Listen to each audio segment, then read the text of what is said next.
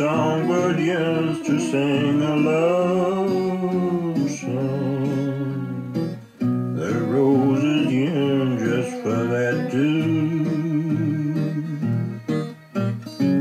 The whole world's yearning for that sunshine.